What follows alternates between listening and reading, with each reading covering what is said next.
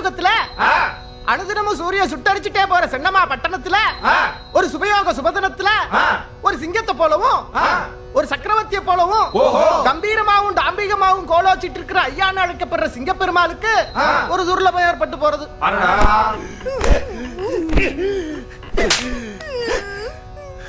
அது தினமே. அசகாய சூரத்தனமும். நிரம்ப வீரமும். பேருக்கொத்த சாத்வீகமும் சமயோஜிதமும் ஒருங்கே கொண்ட பசுபதிங்கிற நரனோட நாவல நாவல காக்கைய வாகனமா கொண்ட சனி பகவான் அன்னைக்கு கால வேளையில வந்து அமருகின்ற காரணத்தினால் அவன் சொல்லுவான்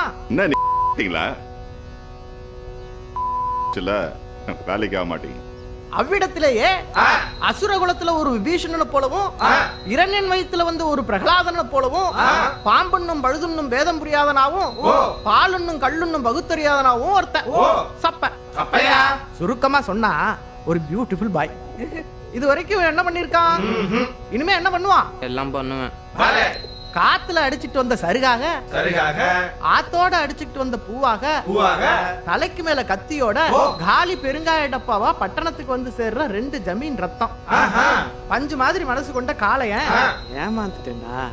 அம்புட்டு வயலுலும் அப்பனை ஏச்சுட்டானுயா பட்டாசு நாக்கு கொண்ட கொடுக்காப்புளி ஓ.